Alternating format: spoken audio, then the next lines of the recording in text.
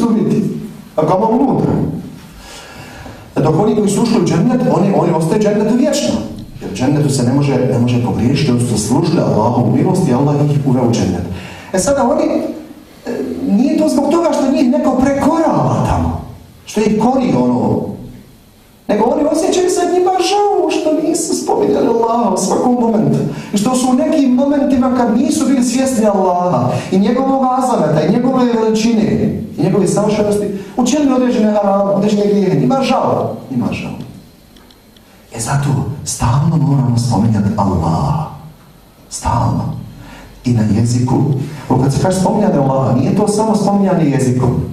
Naravno, jezik je tu puno važno da spominje to su i misli, da se misli o Allahu, o njegovoj vjeri, o njegovim stvorenjima, o njegovoj veličini, što kaže Hazreti Alija, ađebtu limen, junkiru Allah wa jara halka Allah.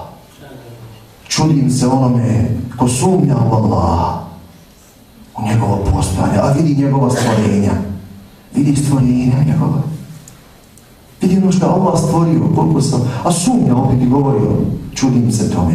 Dakle, treba Allaha spominjati u mislima, i u mislima razmišljati o njemu. U njegovoj veličini, u njegovoj vječnosti, a o našoj malenkosti, sićušnosti, prolaznosti, ništavnosti. Onda treba Allaha spominjati srcem, srcem svojim. Srcem naš, srce zatreperi, a zatreperi iz poniznosti prema Allahu. Tamo se navodi, kaže, da imaju meleki, kad je poslanik bio na, na, na, na, na, na, na, na miraču, pa je vidio ovaj svijet u njegovom pravom svijetu. Vidio je tada vasionu i kosmos dignute perde. Pa je vidio, kaže, na nebesima kako je prolazio, vidio je, kaže, da nema nikoliko četiri prsta slobodnog prostora, što mi rekli koliko pedalja, ono, znaš a da se tu ne nalazi melek koji je ili na seždi Allahu, ili na qiyamu, ili na ruku. I tako oni slave Allaha sve od kako Allah stvorio svijet do sudnjeg dana. Znači oni, kad nastupi prije predsudnje, oni će pomrijeti. Sve će pomrijeti, samo će Allah ostati. Vječni živi. Će ponovo živjeti se. Onda će oni reći tada, subhaneke ma abednake haqqa ibadatik. Allah, nek si slavljen koliko tebi toliko je. Mi da nismo slavili onoliko koliko tebi. Su svjesni Allahovu, ha? Allahove, Allahove Đelešanovu veličine. I posebna vi, poseban vid sjećanja Allaha na Allaha jeste da se one blagodati koje nam je Allah dao nastoje uvijek iskoristiti onako kako je Allah zadovoljan. Znaš, ako nekad pogriješiš, ako sjeti se da može se ta blagodat uzeti, ne da Znaš, šta bi da se uzme onda? Tamo, Sejidina šeik Ša'aravi, rahimahullah, kan li jaud fi tu'a, Allahumma inni a'udhu bika min as-salbi ba'da al-'ata. Veliki islamski učenjak, šeik Ša'aravi, na Allah počastio sam bio učenik njegovi halki nekoliko godina, kad sam bio postdiplomac u Egiptu. Ovaj, na postdiplomskom studiju, Svakog mjeseca sam imao nas jedno 30 kao specijalno su ovako od posebne, poredovnih dersova i na televiziji, da Hafiz znao, da tako Šeša Rav je poznat. Pa on govori ovako u dovi, kaže, Allahu, ja te, ja se tebi utječem od toga da mi, da mi se oduzme blagodat koju sam imao, ne daj Bože. Što naš svijet kaže, da nemam nakon što sam imao. Ja. Jel čovjek je takav, sve što ima, pa mu se oduzme i naš ovaj. Ima posao, pa teško. Ima ovo, ali čovjek da može izgubi se vid, izgubi se slugu, izgubi se noga, izgubi se, znaš, ovaj. Ili nešto drugo. Koje, je tako? Dakle, ako nekad poklepne insan, pa pogriješi, ali treba brže bolje da se pokaje, da se sjeti, možda blagodat uzeti. Da se može oduzeti. Najveća zahvala i sjećanje na Allaha jeste da onu blagodat koju nam je dao on, da je koristimo onako kako je on zadovoljan. Kako on zadovoljan, se postigi njegovo zadovoljstvo. Onda s tim blagodatima uspostavljamo red na zemlji, radimo ono, dakle, što je ovo što je korisno, što je dobro. Jer ova zemlja, vidite, draga moja braća, cijeljene majke i sestre, ova zemlja je stvorena radi čovjeka, radi čovjeka. Vađa'alna lepom fiha ma'aiš fil ard da je čovjek, ali ardu mi min eđeli insan. A, zemlja je stvorena zbog insana, zbog čovjeka. Kad čovjek prestane biti čovjek, to jest izgubi ono glavno što ga čini čovjekom, a to je čovječnost, ljudskost, ljudsko ponašanje, lijepo ponašanje. Gotovo je, sudnji dan je blizu skroz. Nestaje iz zemlje, jer zemlja je zbog čovjeka stvorena. Da čovjek da ne živi. A danas je evidentno da čovjek upravo gubi sve više ono glavno što ga čini čovjekom.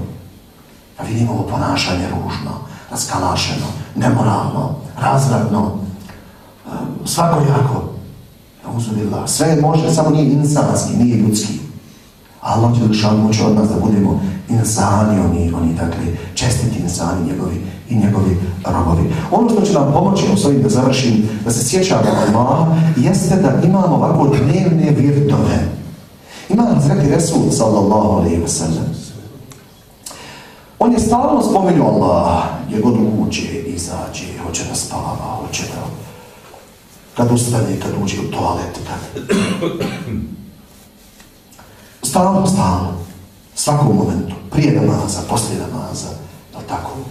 A on, Hazreti Resul, tamo navodi se da je pojedine zikrove volio, kaže se ovako, kjane ahabbu ila, ahabba ila nabi sallallahu sallam an yakul hada zikr min, min, mimma tala'at alihi šems.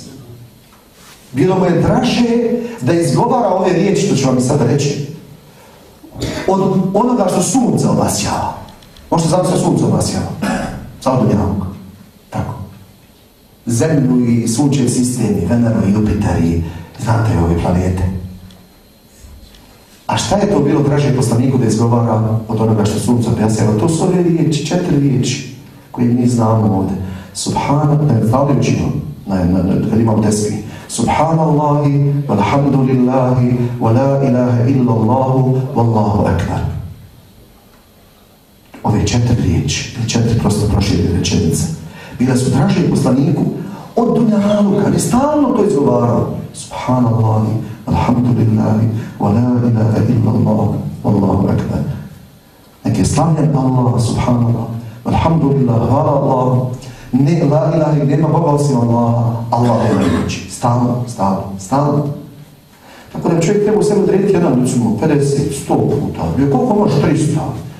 Ali da bude jedna ovako dnevni obrok jedan, a? Ko što imamo obroke, ovamo mi, doručak, ručak, večera, užina, znaš.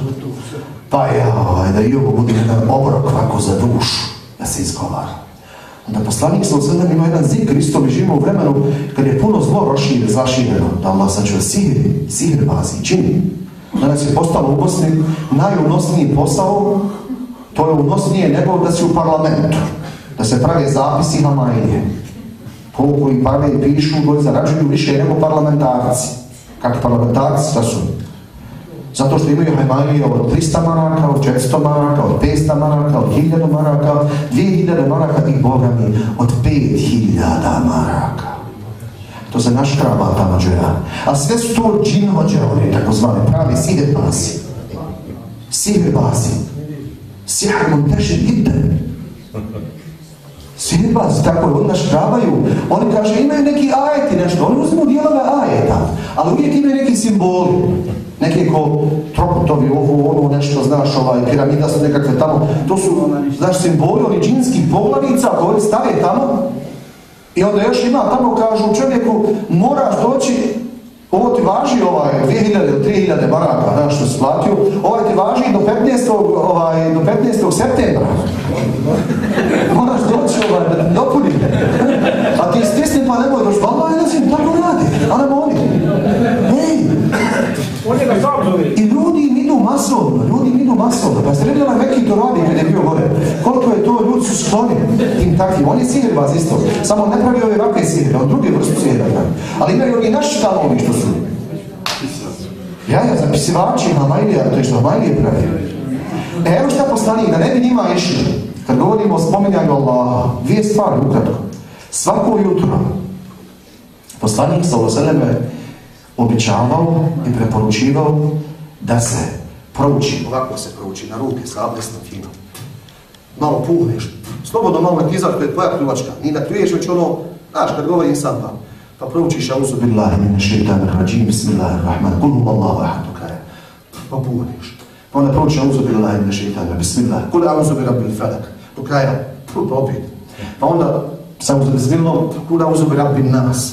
Pa puhneš tako i onda se potareš, potareš se ovako. Evo vidite kako se okrenuo ovako da vidite. Potareš se po licu i ovako po tijelu dokle možeš dobaviti rukama. Ovako se potari. I onda to ponoviš tri puta. To tri puta.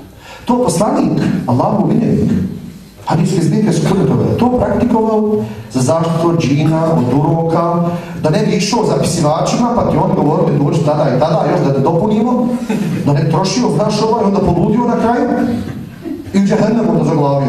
Što je to? Su šeitanske rabote. Ko se šeitanom ukolo, ukolo zaigrava, nastaje kuda šeitan vodi. To je poslanik praktikom ujutru, predveće kad nastupa noć, ili kad je akšan, kad se klanja, može i pred akšan, isto ovaj tada, i prije spavanja. To kad se uči, nema sihira, nema džina koji može navoditi. Inša, nema. Ono može, ako je čovjek već malo fasovo ili žena su imaju malo nekih simptoma, baš ko gripa, ono, pa malo simptoma ima ono početni. Ima i tamo simptomi, ja i se odmah, prvo ti džini, oni znaš, gledaju slabe tačke, će može, jel? To je svijet njih ima luho bilo, to je opisao mnogo više nego ljudi. Džina, raznih sorti i vrsta.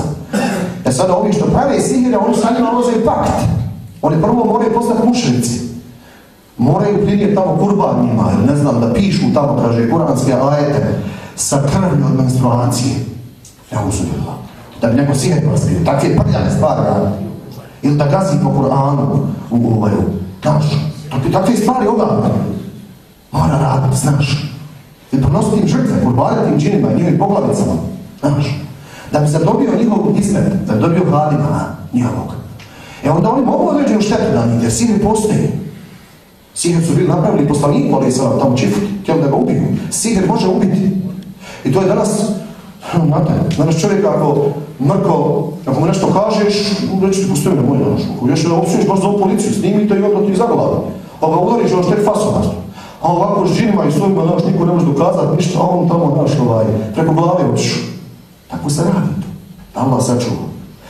E, ova zaštita, dakle, poslanika, to treba učiti isto, pa njima, dakle, da, da, da popiju vodu tu ili proučiti majke kursiju. Isto je jako važno kad se legne, savjesno da se legne.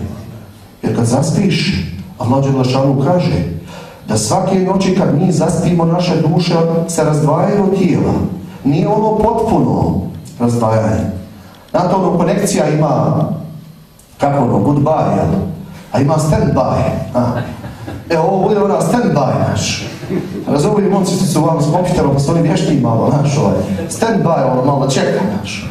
Ja, ja, tako kad spava, a kad bude goodbye je kad ono, kad Azraila ne dođe skroz ovaj.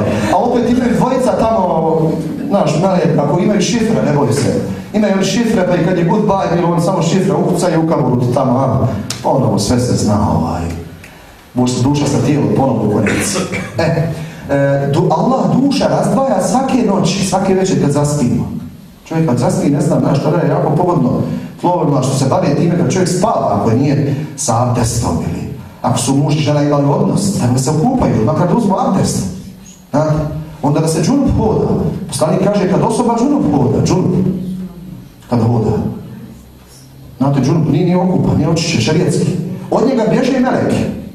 A čim meleki bježe, nas ko se lijepi. Šeitani i šeitanica. E onda ne treba niko praviti sihir, onda je sam sebi napravio. Znaš, isto žene kad prospaju vruću vodu, vrelu negdje, bismilu proučite je obavezno. Bismilu. Bismilu. Znaš, ne u WC-u ne smiješ, u WC nemoj prospati vrelu vodu, nikada. To ne igra se s time, naš ulebi. Ovaj, da tamo može biti stanovnika koji mi ne vidimo. I evo da završim, poslanik je preporučio još da onaj ko kaže stotinu puta La ilaha illa Allahu wahdahu la sharika la lahu mulku wa lahu alhamdu wa huwa ala kulli shay'in qadir. Ko kaže stotinu puta ujutru ili u toku dana ovo la ilaha. Gledaj šta dobiva. Dobiva, kaže, kana lahu uh, uh, tadil riqaba ašar, ašar riqab, kao da je oslobodio deset robova. Hej, znaš ti deset robova, znaš koliko je to? Jedan rob ti nije bilo četiri, pet hiljada ovjera kad bilo parama. Ono u parama. Puta 10, to je 50.000 ovira kada je podijelio. Znaš, kada je oslobodio 10 robova. Brišemo se